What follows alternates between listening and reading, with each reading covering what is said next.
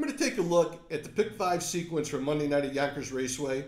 It has a $10,000 guaranteed pool. It begins in race 5, and in the first leg, I'm going 3D. The three horse, one last feelings, 5 to 1 in the morning line, beat 30 claimers last time with a nice effort, steps up to face the 40 claimers tonight, needs to prove himself at this level, but the same can be said for much of the field. The 5 is Ballarat Boomerang, 3 to 1 in the morning line, was hung in a slop and will toss the last start.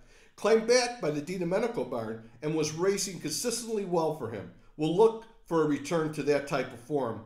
The six, a lot better. Five to one in the program, beat the 40 claimers, then took on the 50s in the slop, and that didn't go well. Back in where he fits better, Buter may have the pedal down and could get a good early seat. In race six, going three deep again, the one, Cold Creek Felipe. Three to one in the morning line, got on the engine and faded last time, now draws inside and comes right back in sequence. Should be better tonight. The two, Twig, 8 to 5, steps up, but still can be in the mix, has good gate speed, but is camera shy. Has gotten better since arriving from Ohio and looks like a player. Hopefully won't be overbet. The 5 is Barry White Hanover. Looking for a bit of a price, 5 to 1 in the morning line. Not sure if Barry is a true $30,000 claimer, but the same can be said for others in this field. May have found a spot to catch a speed. Stratton steers for the second straight time and will look for a good trip at a solid price. In race 7, I'm going to use the rail horse. Moonlight Shadow, two to one in the program, comes off an efficient win at this level, and the same can happen here, drawing the rail for the third straight time. This was Bartlett's choice over the 9 to 5 program chalk, the five horse, another masterpiece. I'm going to string along and look for this one to double up. The two, America Dealer N, 5 to 2 in the morning line, shifts back from Philly and lands at a good spot to take a picture. Has won 7 to 32 at Yonkers, Kakaley steers, and could get the top and not look back.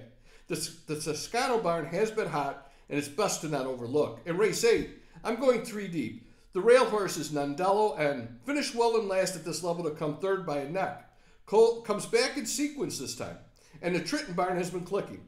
Looks like a main player, and Bartlett should work a good trip from the rail. The two horses, Moonlight Kiss is 5 to 1.